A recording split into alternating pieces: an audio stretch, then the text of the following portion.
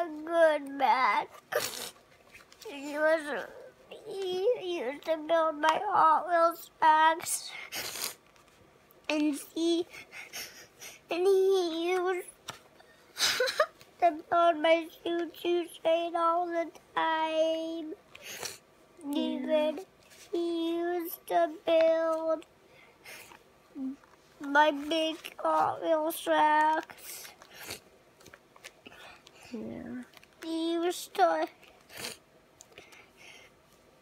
come tuck me in and feel he was nice and that.